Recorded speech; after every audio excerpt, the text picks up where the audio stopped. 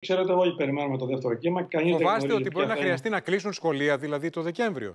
Κανείς δεν ξέρει. Επομένως, καλό είναι τώρα που μπορούν να ανοίξουν τα σχολεία, έστω και μια εβδομάδα την κερδίσουμε. Συγγνώμη για τη γάτα.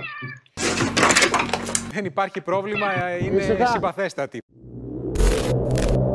Αλλά τώρα μόνο